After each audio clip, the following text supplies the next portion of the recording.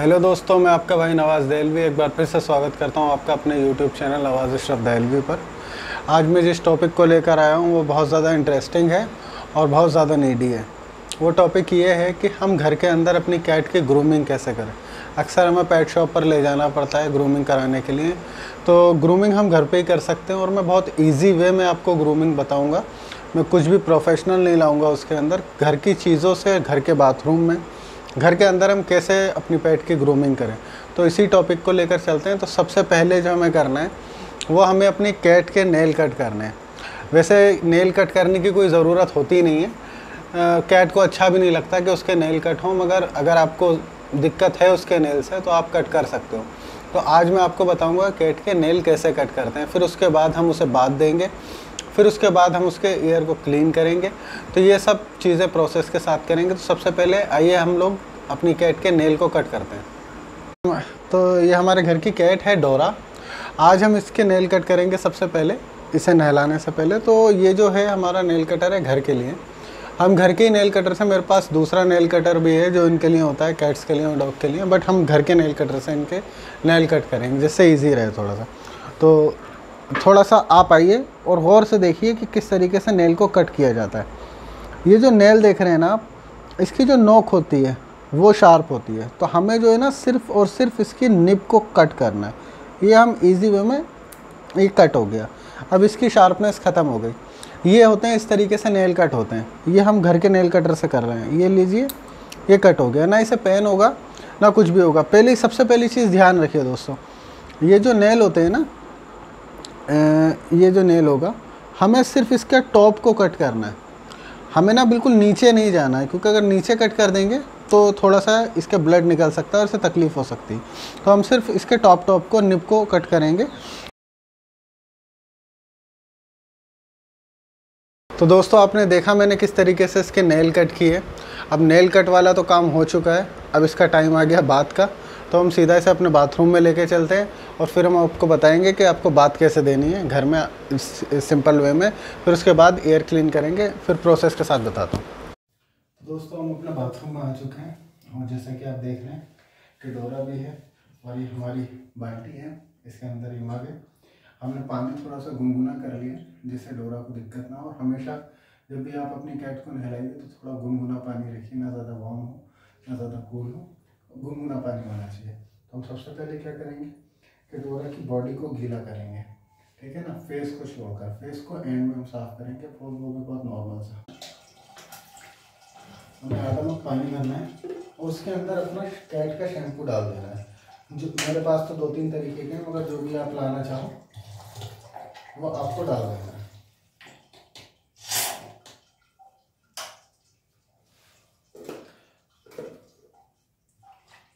आपने केक का शैम्पू इसमें पानी में घोल लेना है। और फिर इसकी बॉडी पे ये शैम्पू डालना है।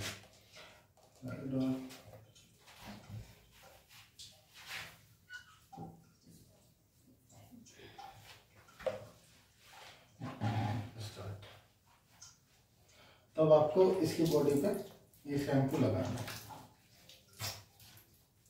वैसे तो बहुत ज़्यादा चंचल है बट कोई सुनिए नहा आराम से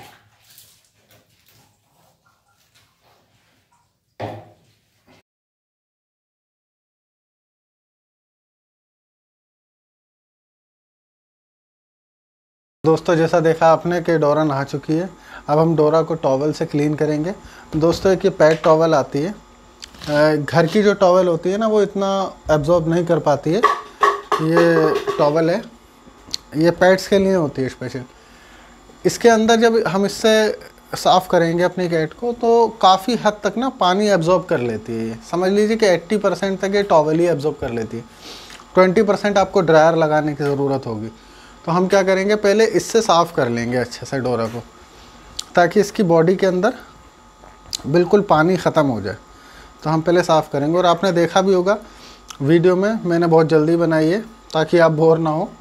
तो मैंने इसके फेस पे एकदम लास्ट में हल्का सा पानी लगाया था शैम्पू वाला, और वो भी मैंने जल्दी से धो दिया था। तो मैं फेस पे ज़्यादा पानी लगाता नहीं हूँ। मैं ज़्यादातर बॉडी को क्लीन करने की उसमें रहता हूँ। तो ये हमने टॉवल से डोरा की बॉडी को साफ़ कर रहे हैं।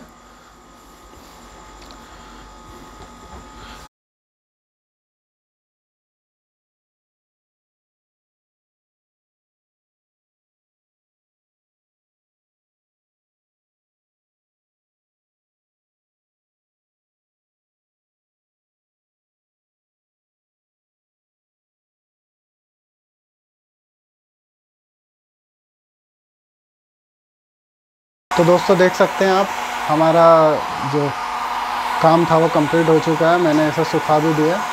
ड्रायर से और ये ड्रायर भी घर का ही है। तो ये 90 परसेंट तक 99 परसेंट तक ड्राई हो चुकी है। थोड़ी सी रह गई है। वो ये खुद भी चाट के साफ़ कर सकती है अपने आप को। काफ़ी सारा काम ये खुद भी अपने आप को क्लीन करने का करती हैं। तो अभी ये ड्राई हो गई है पूरी तरीके से। अब हम इसे कॉम करेंगे। नॉर्मल कॉम जो करते हैं ताकि अगर इसके कोई मैट्स वगैरह होंगे तो वो ईज़िली निकल जाएँगे। पहले गैप वाली साइड से करिए थोड़ा सा खोम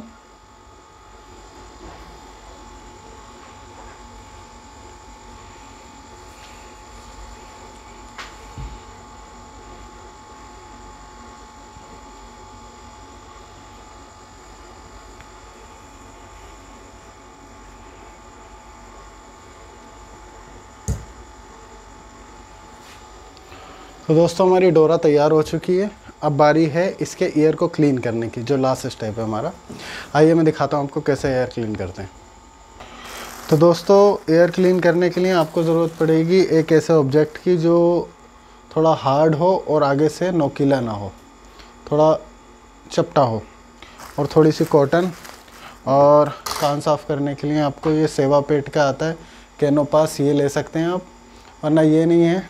तो आपका विरबैक का आता है ईपीओटिक आप दोनों में से कोई भी ले सकते हैं, इन दो, ये दोनों बेस्ट हैं। तो आपको क्या करना है कि आपको कॉटन लगानी है सबसे पहले। अपने किसी भी ऑब्जेक्ट में आप कैची भी ले सकते हो जिसका मुँह चपटा हो, या फिर आप ये भी ले सकते हो, जो भी आपको सहूलत लगे। तो सबसे पहले आपको इसके कान में, इधर दिखाओ। इसके कान में ये थोड़ा सा ये डाल देना है।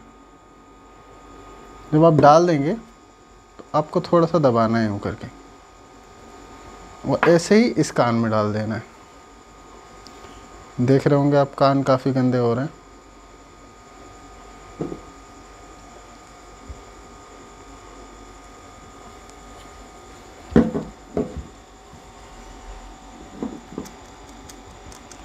जब डाल देना है, फिर उसके बाद इसके थोड़ी सी खुजली होगी। वो कोई दिक्कत की चीज़ नहीं है। आपको नॉर्मली इसके अंदर इसे कॉटन को लगाना है और ये एयर बर्ड टाइप बन जाएगी। ये बर्ड बन गए एक तरीके से। अब दिखाओ, आपको क्या करना है? कान में लगा के ये पहले ऊपर ऊपर से साफ़ करना है। ठीक है ना? ये देखिए। ये बाहर से दिखने वाली कैट्स के इतने गंदे एयर होते हैं। फिर उसके बाद थोड़ी सी और कॉटन लेनी है।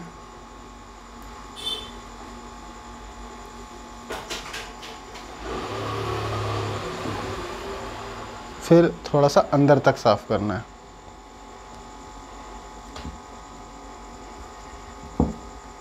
ये देखिए। अक्सर पर्शियन केट लगती साफ़ सुथरी हैं, मगर उनके अंदर बड़ा कीचड़ भरा होता है। तो दोस्तों, देखा आपने कि अब बिल्कुल डोरा नीट एंड क्लीन हो चुकी है, अब थोड़ी बहुत रह गई है वो अपने आप साफ़ कर लेगी अपने आप को। तो हमें सबसे पहले क्या करना है, सबसे पहले नेल कट करने अगर आपको प्रॉब्लम हो तो अगर नहीं है प्रॉब्लम तो मत करिए। दूसरी चीज़, जब हम नहलाएँगे ऐसे तो ज़रूरी बात ये ध्यान रखिए कि पानी थोड़ा सा गुनगुना होना चाहिए, ना बहुत ज़्यादा ठंडा, ना बहुत ज़्यादा गर्म। फिर जब हम इसे ड्राई कर लेंगे पूरी तरीके से तो पैड टॉवल से करिए। ज़्यादा अच्छा रहेगा, घर की टॉवल से भी कर सकते हैं। फिर ड्रायर से इसे ड्राई कर दीजिए। फिर उसके बाद क्या करना है, हमें इनके ईयर क्लीन करने और ईयर क्लीन करते वक्त गाइज़ एक चीज़ का ख्याल रखिए कि जो आपके पास ऑब्जेक्ट हो ना, वो बाहर से चपटा ज़रूर हो। क्योंकि अगर नोकीला होगा तो कहीं कान में लग गया तो ब्लड वगैरह निकल जाएगा। क्योंकि थोड़ा सा फोर्स से निकालना पड़ता है। ठीक है ना? तो ये सब करने के लिए आपको बहुत गौर से वीडियो देखनी पड़ेगी। आप वीडियो को ध्यान से देखिए, जिस तरीके से मैंने नहलाया और नहलाते समय इसके चेहरे को लास्ट में धोइए, पहले धोने की कोशिश मत करिए, क्योंकि वरना उससे ये परेशान हो जाएगी। ठीक है दोस्तों तो अगर वीडियो पसंद आई हो तो इसे लाइक करिए और मेरे चैनल को सब्सक्राइब करिए। मैं आपके लिए डेली वीडियो बना रहा हूँ और कोशिश कर रहा हूँ आपको ज़्यादा से ज़्यादा वीडियो दे सकूँ। तो थैंक यू सो मच